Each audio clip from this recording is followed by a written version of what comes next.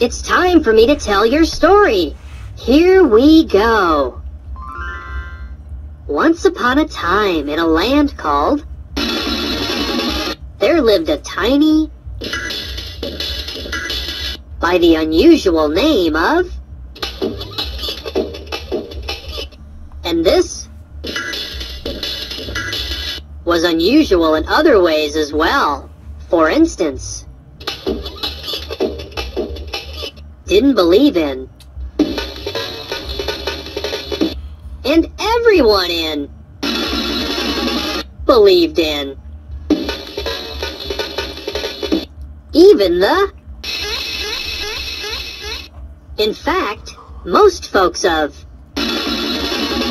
Would rather spend a day eating than say they didn't believe in. But for some reason, didn't believe until... That is, because that was when... Showed up in a... Look the... Right in the eye and said, Here's a... For being so... And did... Believe after that? You bet you're sweet.